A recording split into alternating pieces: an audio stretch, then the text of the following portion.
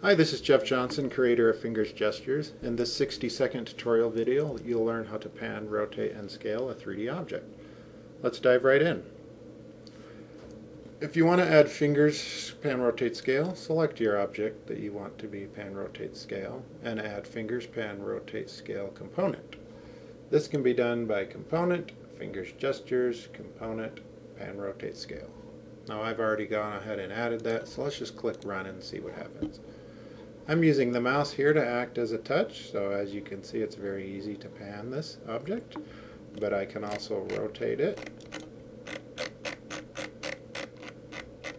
and I can scale it. It's very easy, very simple, and it took less than 60 seconds to show you how to do this. Thanks for watching. I hope you enjoy Fingers Gestures. This is the easiest setup on the asset store, easiest asset to use. Have a wonderful day.